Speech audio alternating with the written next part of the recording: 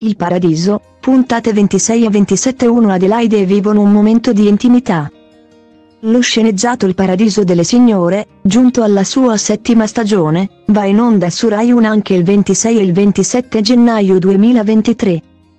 Nei nuovi episodi ci sarà in particolare un ulteriore riavvicinamento tra Adelaide di Sant'Erasmo, Vanessa Gravina, e Marcello Barbieri, Pietro Mosotti che daranno sfogo ai propri sentimenti vivendo un momento passionale.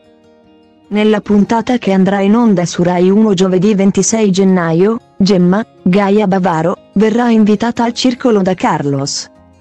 Proprio quando si svolgerà la festa di fidanzamento di Ludovica, Giulia Arena, con Ferdinando, Fabio Fulco, e di Flora, Lucrezia Massari, con Umberto, Roberto Farnesi.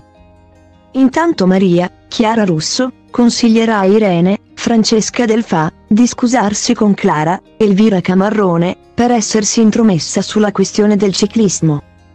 Nel contempo Vito, Elia Tedesco, troverà il coraggio di svelare il suo segreto ad Alfredo, Gabriele Anagni. Alla porta di Palma, Valentina Tomada, busserà a sorpresa l'anziana nonna di Elvira. Che le chiederà di scrivere per lei una lettera. Intanto Marcello proverà a risollevare l'umore di Adelaide quando la vedrà disperata, proponendole di viaggiare con lui.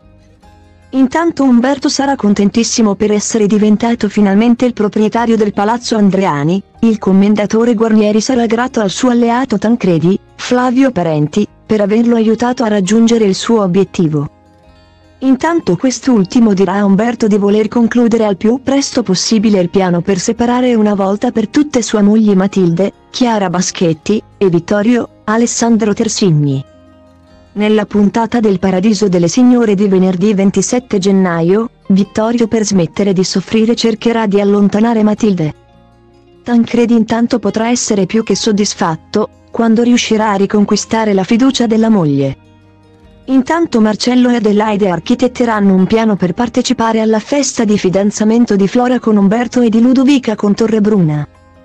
A rovinare la serata che Gemma trascorrerà al circolo con Carlos sarà il suo ex fidanzato Marco, Moisè Curia.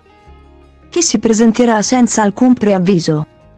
Finalmente Vito si deciderà a parlare del proprio passato a Maria.